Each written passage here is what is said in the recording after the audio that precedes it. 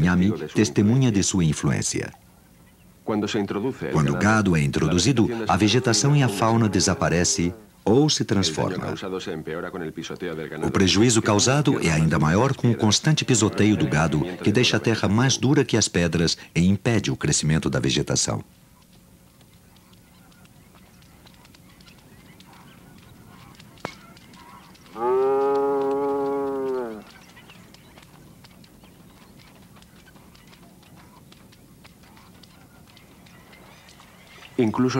Até mesmo os juncos utilizados na construção das casas têm que ser trazidos a mais de 50 quilômetros de distância.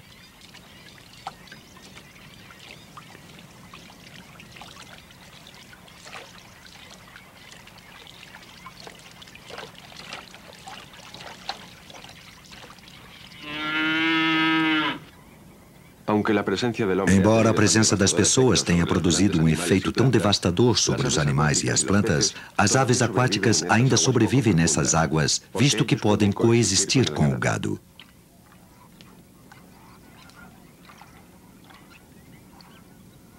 Um bando de irerês guardam as margens.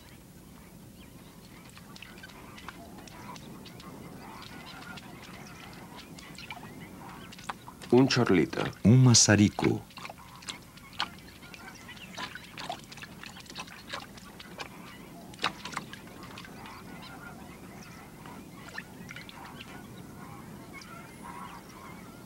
E um zancudo. E um pernalta.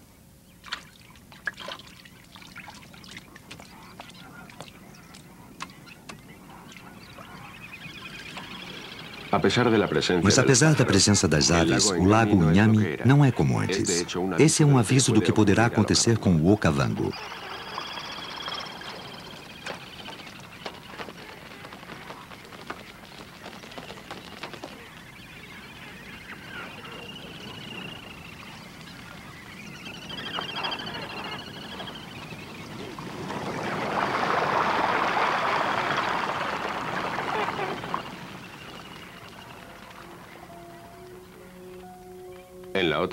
Na outra parte do lago, um enorme bando de flamingos.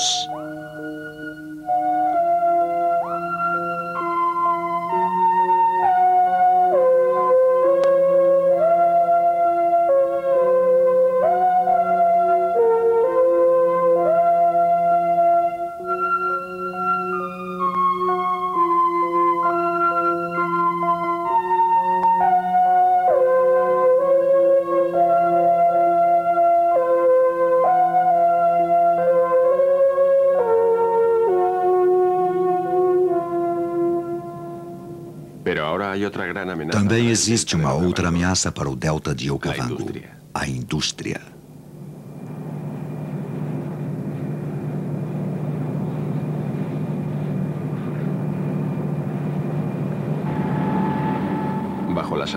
Sob as areias do Kalahari estão escondidas grandes jazidas de cobre, níquel e carvão e, sobretudo, diamantes. Botsuana é um país que se desenvolve com poucos recursos e seu futuro depende da extração destes valiosos minerais. A mina de diamantes Orapa depende completamente de milhões de litros de água para o seu funcionamento.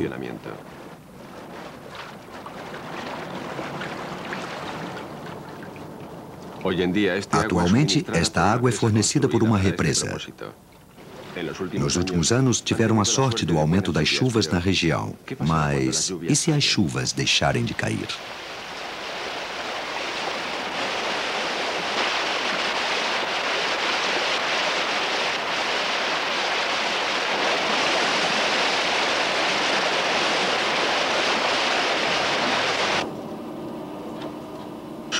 Somente essa mina, que não funciona à máxima capacidade, proporciona 60% da receita de Botsuana, com possibilidade de aumentar no futuro. De onde virá a água?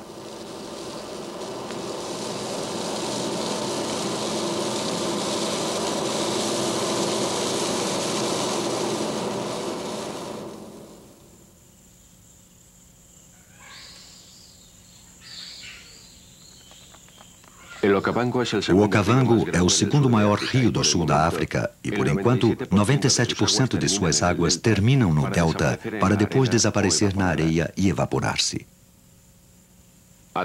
Além disso, o Okavango é a única fonte de água em grande escala do país. Este desperdício aparente de água pode parecer frustrante quando essa mesma água poderia ser empregada para explorar a enorme riqueza mineral do país. É possível que Botsuana consiga o equilíbrio entre o desenvolvimento do seu potencial econômico e a conservação desse maravilhoso deserto natural? A presença dos diamantes e dos minerais não durará para sempre. No entanto, o Okavango poderá ser eterno, se lhe permitirmos.